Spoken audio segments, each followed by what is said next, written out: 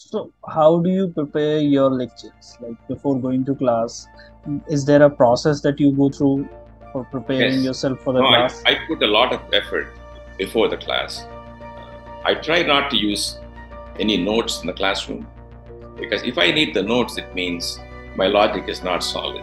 If my logic is solid, every sentence I say will automatically lead to the next one. If it doesn't, there is a fault in your thinking. So I, would, I usually will not get stuck in the lecture because I'm having a stream of reasoning. So you first get that in your head. What's the starting point? What follows logically and what follows after that? I have to figure that out. Then I have to go to class.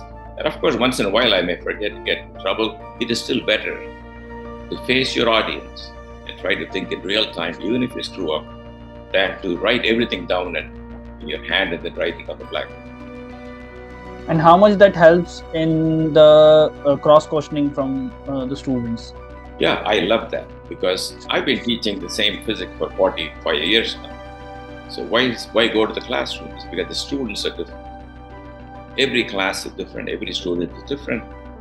They will think of something you never thought of, even after 40 years of teaching that subject, even if it's elementary subject, something never crossed your mind.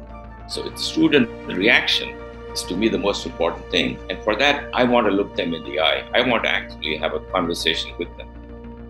Then they're more likely to interrupt, more likely to ask questions. And it's the role the professor never discourage a student from asking questions. Even if it's a stupid question, uh, make a big fuss over that because what you want in the class is people who are thinking.